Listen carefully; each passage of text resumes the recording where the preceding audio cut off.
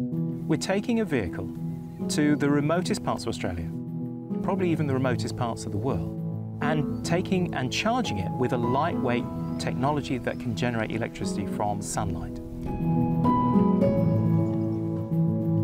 It strikes me that this is actually an ideal test bed to give us information about how we would go about using and powering technology in other remote locations, for example, in space.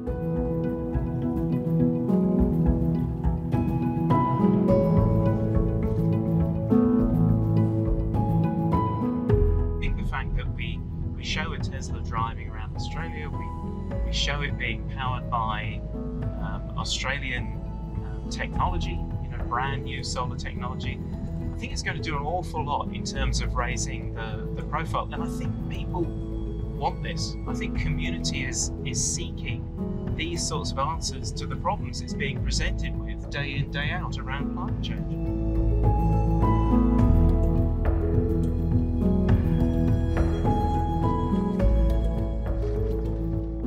I hope that if he finds out about it, Elon Musk will be very pleased, showing how our innovative technology is now combining with his developments to develop new solutions for the planet.